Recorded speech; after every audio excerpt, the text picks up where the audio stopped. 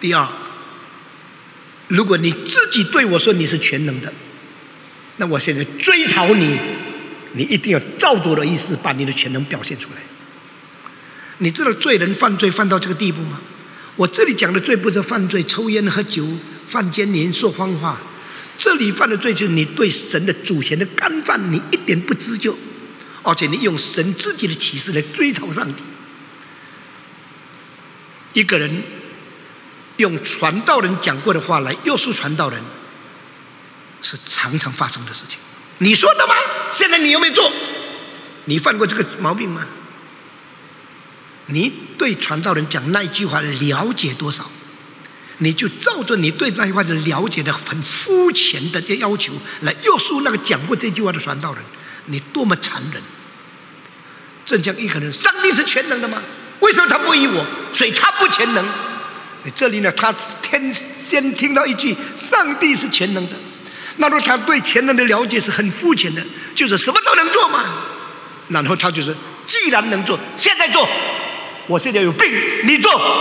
如果你不做，你是骗人的，你不是全能的，你是讲话不算数的。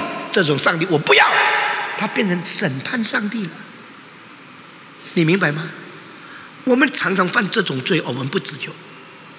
上帝讲全能的全能的意义，跟你全能的领受的那个观念是不一样的。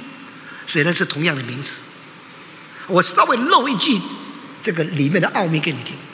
上帝的全能不是说他能够什么事情都做，更不是他能够照着你要的每一件事情做给你看，更不是你所说的全能就是什么事情就是照你所要的做给你，表示他的能力才是真的，不是这个意思。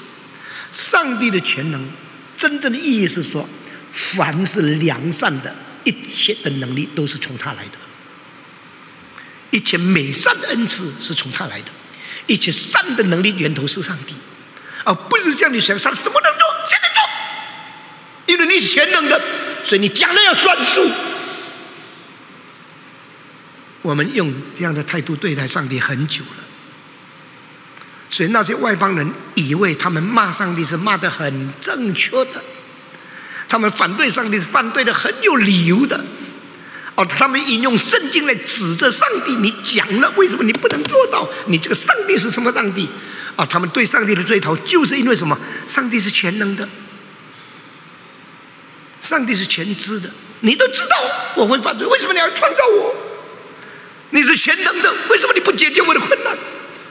他就用上帝讲过的话来追讨上帝，这是我们常常犯的很幼稚的罪。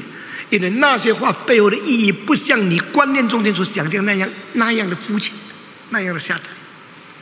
我们以小人之心度君子之腹，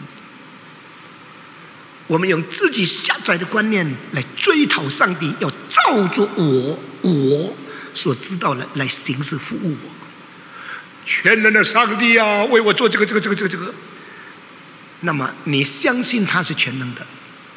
你又要指挥他的全能，你是全能之上另外更高一能的对全能的指挥者的那个万能，超过全能的指挥全能者的那个指挥官，你发现了没？神从来不负这样的人。你知道我是全能的吗？我现在可以能使你死，因为你讲这样的话，你不认识我还要定我的罪，我就可以把你治死。神全能。他又能够克服他那一副可以审判你的感情，来让你继续发问反对他，这个就是他的全能。